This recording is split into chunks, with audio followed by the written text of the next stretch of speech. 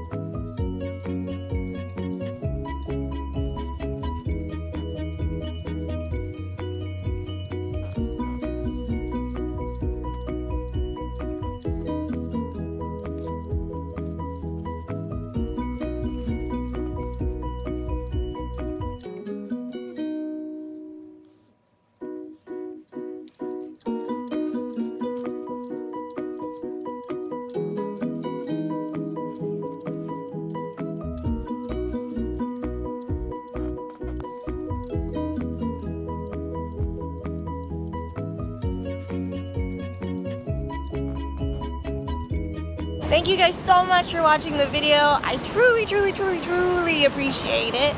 Uh, again, if you liked it, please like it and subscribe for more videos. And I guess that's it. So, yeah. But thanks for watching, and I'll see you next time. Bye, guys.